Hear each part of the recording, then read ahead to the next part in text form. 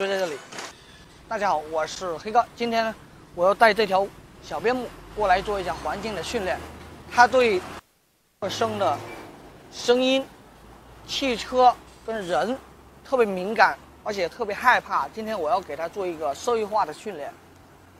不知道今天的效果怎么样？反正我的做法就是，有汽车来了或者有陌生人来了，我都会给他奖励，分散他的注意力。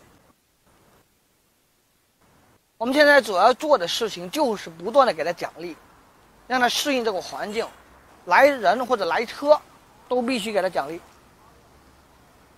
不能断掉，也不要太多的废话去讲他。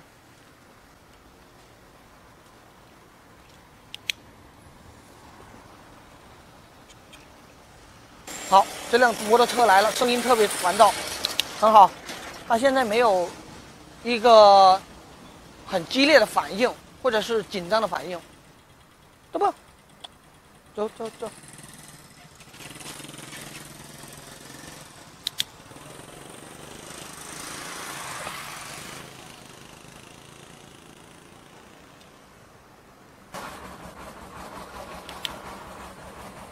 有这种声音的出现，必须一直给他奖励，分散他的注意力。